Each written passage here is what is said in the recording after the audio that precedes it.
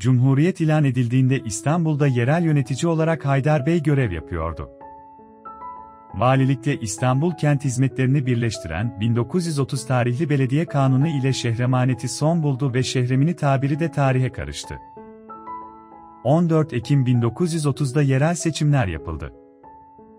İstanbul Umumi Meclisi, Vali ve Belediye Başkanı Muhittin Üstündağ tarafından 6 Kasım 1930'da açıldı. 1 Mart 1956'da valilik ile belediye ayrıldı.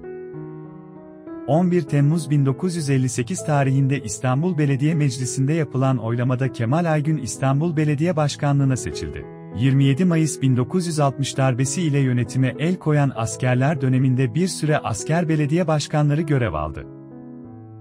1961 Anayasasına göre, 27 Temmuz 1963 tarihinde çıkartılan yasa ile belediye başkanlarının seçiminde tek dereceli çoğunluk usulü getirildi.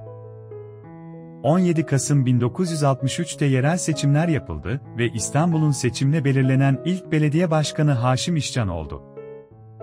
3030 sayılı yasa ile başlayan Büyükşehir Belediyesi döneminin 26 Mart 1984 tarihinde yapılan ilk seçiminde ise, Bedrettin Dalan ilk Büyükşehir Belediye Başkanı olarak seçildi.